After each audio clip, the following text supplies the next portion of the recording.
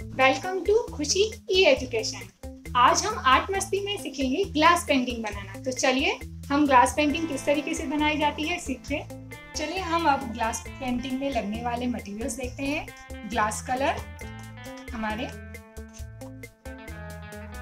ठीक है? ये outliner three D outliner sellotape scissor और जो हम ग्लास पेंटिंग करेंगे तो वो हम करने वाले हैं आज एच पी शीट पे।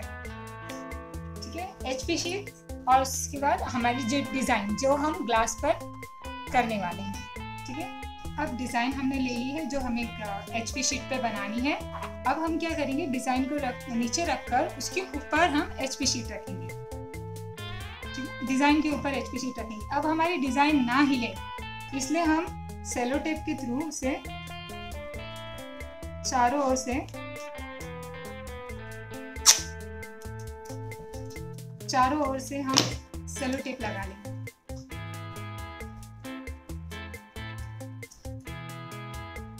अब हमारा सेलो टेप लग गया है, अब हमारी डिज़ाइन हिलेगी नहीं अब हम क्या करेंगे? थ्री डी आउटलाइनर ये जो आउटलाइनर है, हमारी डिज़ाइन पे हम डिज़ाइन को हम पहले आउटलाइन करेंगे।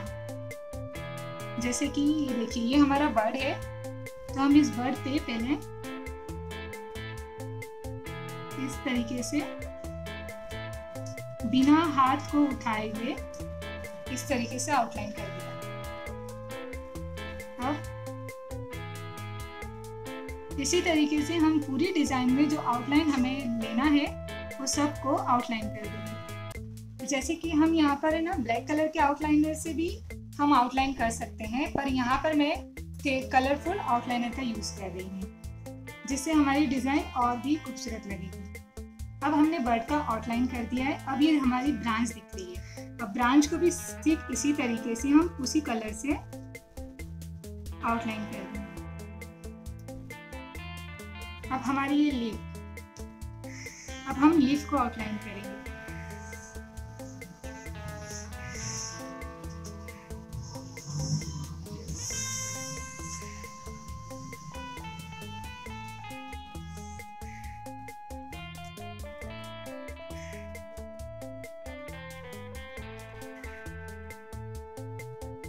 अभी हमारी ये डिज़ाइन की पूरी आउटलाइन हो चुकी है।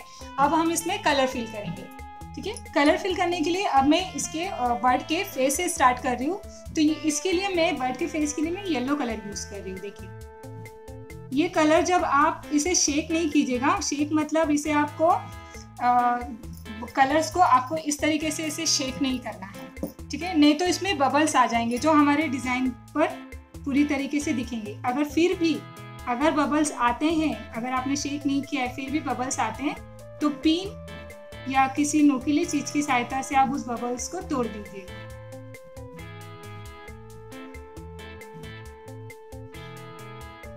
कलर बहुत अच्छे से फिल कीजिएगा और याद रखिएगा कि आपको डिज़ाइन हिलानी नहीं है, नहीं तो ये कलर पूरा आपका फ्लो हो जाएगा मतलब पूरा गिर जाएगा। अब ये हमारा फेस हो चुका है।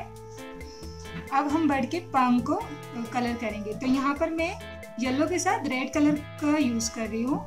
ये देखिए। और मैंने जहाँ पर हमने फ़र्स्ट देखा था कि मैंने जो अपनी डिज़ाइन थी, वो मेरी कुछ सीधी थी। मैंने अभी आपको सुविधा की तरह दिखे कि मतलब कलर किस तरीके से किया जाता है, इसलिए मैंने डिज़ाइन को थोड़ा सा हिला लिया है। पर आप लोग कलर करते वक्त या डिज़ाइन जब तक कंप्लीट नहीं होती, आप इसे हिलाना नहीं है डिज़ाइन को। ये देखिए।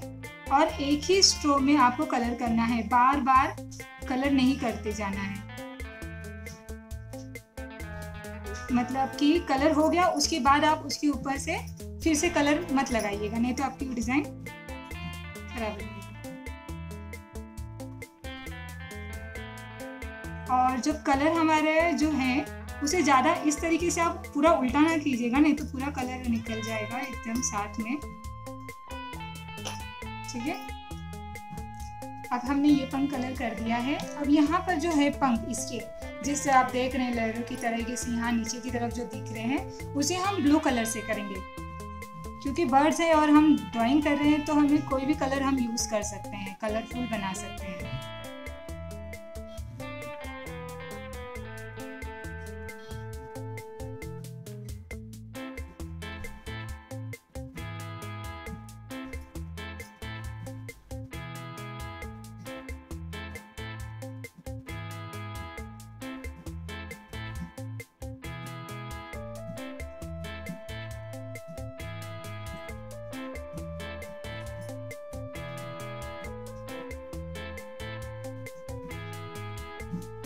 देखिए हमारा अभी बर्ड पूरा कलर कंप्लीट हो चुका है। अब हम क्या करेंगे? लीफ अभी हमारी स्टार्ट करेंगे।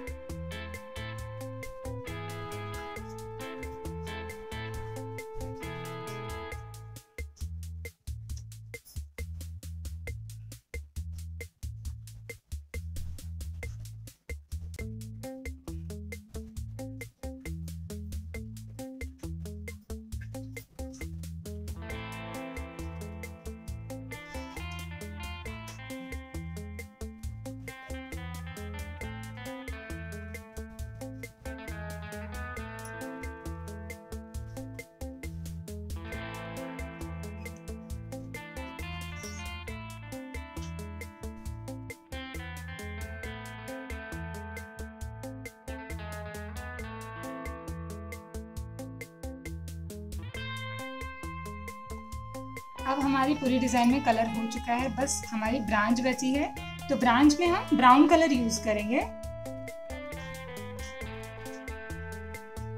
अब हमारा पूरा कलर कंप्लीट हो चुका है।